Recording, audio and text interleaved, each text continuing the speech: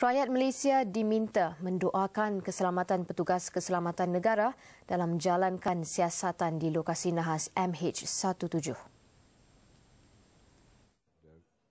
Seruan itu dibuat Menteri Dalam Negeri Datuk Seri Dr. Ahmad Zahid Hamidi di Kiev.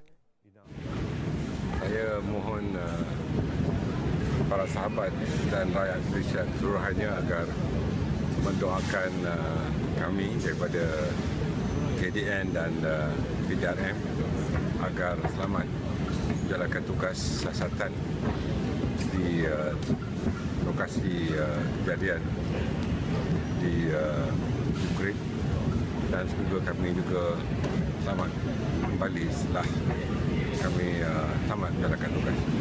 Kami mohon doa restu semua pihak kepada kami. Rakaman video ini dihantar kepada Astro Awani ketika Zahid menghantar pasukan PDRM yang diketuai Ketua Polis Negara Tan Sri Khalid Abu Bakar berlepas dengan kereta api dari Kiev ke Kharkiv. Pasukan Keselamatan Negara melalui perjalanan sejauh 500 km sebelum meneruskan perjalanan ke Soledar, kira-kira 100 km dari lokasi nahas.